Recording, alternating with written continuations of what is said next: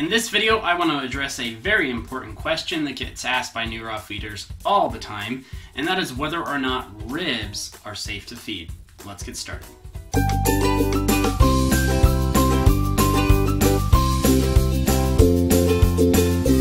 Welcome to the channel, everybody. My name is Scott the Dog Dad from DogDadOfficial.com, and if this is your first time on the channel, please make sure to click that subscribe button as well as the little bell notification icon so that you get notified when I put out raw feeding videos. What do you think? Do you think that raw ribs are safe to feed in a raw diet?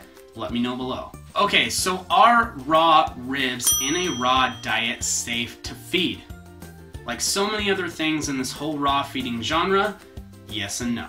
Feeding ribs is one of those things that's going to be different for every single dog depending on a few different factors that you need to take into account. Here are four things that you need to consider when feeding ribs.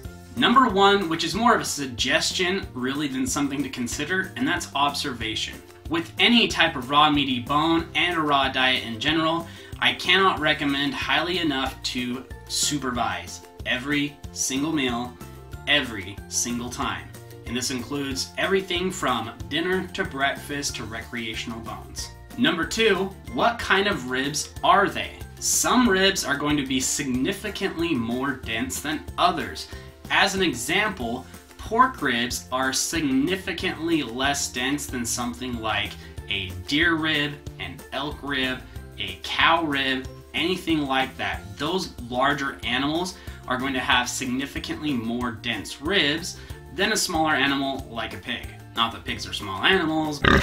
Number three, your dog's size. In the same way that some ribs are going to be right or wrong for your dog based on that rib's density and its source, whether it was a pig, a cow, etc., there are also some ribs that are going to be right and wrong for some dogs, depending on the dog's size. For example, a pork rib may be a perfect fit for a dog the size of a German Shepherd, maybe even down to as small as an Australian Shepherd. However, a pork rib with its size and depending on how that pork rib was cut may not be appropriate for a dog as large as, say, a Great Dane because it's a choking hazard. Potentially. Each individual dog is different. That's just one example of a way that you need to take your dog's size and their behaviors and habits into account.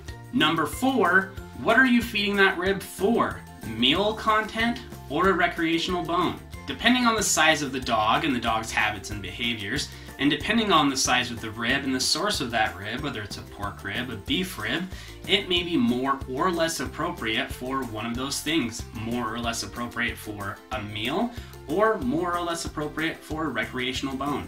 For example, it's going to be a really hard time for a dog the size of, say, a Chihuahua to use a pork rib or a beef rib for bone content in their diet because it's going to be really difficult to get it broken down and get it into their system. However, that same beef rib, as an example, may be an amazing source as a recreational chew for mental stimulation as well as dental benefits. Always observe and supervise your dog with bones and raw food meals as a whole, especially if it's something new that they've never had before. Consider the rib's source, whether that came from a pork, elk, deer, beef, and so on. Consider your dog's size, behavior, and habits, whether they're a gulper or not. And ask yourself why you're providing that rib. Are you providing that rib to give bone content in your dog's daily meals, or are you providing it as a recreational bone? Keeping these things in mind is going to let you do a better job and a more educated job on deciding whether or not a rib is safe or not safe to feed your dog. To learn more about or even get started with raw feeding, make sure to check out my free 7 simple steps to raw feeding and other raw feeding resources in the description box below. But most importantly, remember that you don't have to be perfect to be an amazing dog owner. You just have to do your best every day and try to improve as you go forward.